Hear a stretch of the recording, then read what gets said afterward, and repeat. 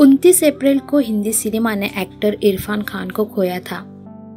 अब इरफान खान के निधन के एक दिन बाद 30 अप्रैल 2020 को ऋषि कपूर अलविदा कह गए।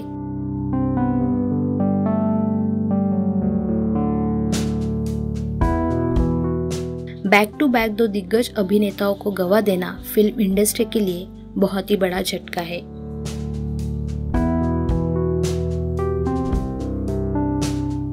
बॉलीवुड के सबसे बड़े परिवार कपूर खानदान के चिराग। ऋषि कपूर ने अपने परिवार के राह पर चलकर फ़िल्मों में अपनी किस्मत आजमाई।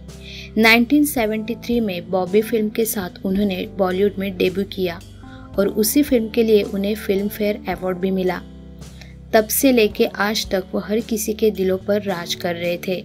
हालाँकि 1970 में राज कपूर की फ़िल्म मेरा नाम जोकर में ऋषि कपूर एक बाल कलाकार की भूमिका में हमें नज़र आए। बॉलीवुड की सबसे बड़ी फैमिली, यानी कपूर खानदान में ऋषि कपूर का जन्म 4 सितंबर 1952 में हुआ। बॉबी द बॉडी, प्रेम रोग 102 नॉट आउट, दामिनी, हीना, ऐसी सैकड़ों फ़िल्में थी जिसमें ऋषि कपूर ने शानदार काम किया था। उन्होंने हर किसी को अपना दीवाना बनाया, फिर चाहे वो रोमांस वाली फ़िल्म हो या फिर एक्शन।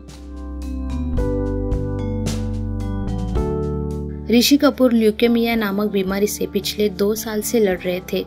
अस्पताल ने उनके लिए आखिरी दम तक कोशिश की। पिछले साल वो जब विदेश से इलाज कर कर वापस आए तो काफ़ी खुश थे और हर किसी से मिलना चाहते थे, लेकिन ये बीमारी से वो दूर न जा सके। जब ऋषि कपूर ने अपनी आखिरी सांस ली, तब उनके साथ पत्नी नीतू सिंह, भाई रणधीर सिंह और बेटा रणबीर कपूर था।